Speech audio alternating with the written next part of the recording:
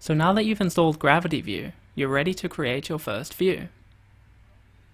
So from your WordPress admin area, hover over Views here in the left-hand menu, and click New View. Start by giving your view a name. We'll call this one Customer Profiles. Next, you need to select a data source. So this defines where your view pulls its information from.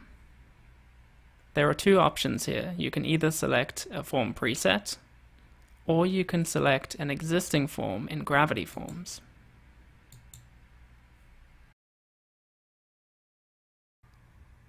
So as you can see by clicking the Use a Form Preset button, it brings up the list of different preset options. So there's business listings, business data, people profiles, many things to choose from.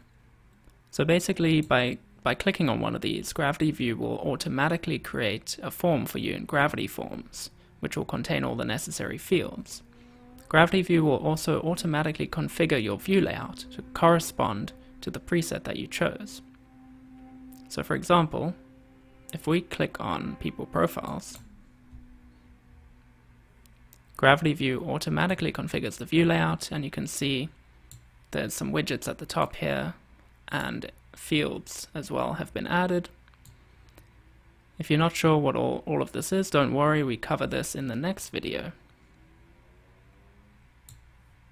So let's publish this view. And let's check out our forms in Gravity Forms.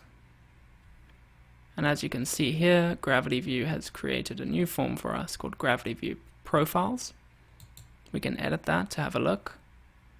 And it's got all the necessary fields for capturing information and then displaying profiles on our website.